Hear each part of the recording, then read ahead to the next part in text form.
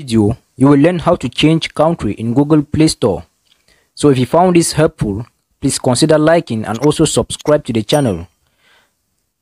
The first thing you have to do is to open your Play Store, click on your profile icon, click on settings, and then you need to click on general. Click on account and device preferences. As you can see it opens your account settings. From here you will see the country in which you are.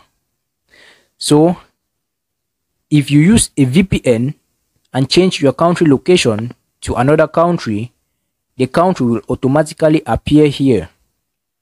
And you'll be given the option to select the country.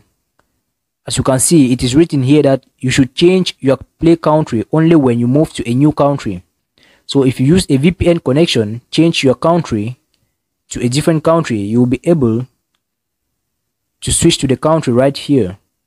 So that is how you can change your country in Google Play Store. Thanks for watching.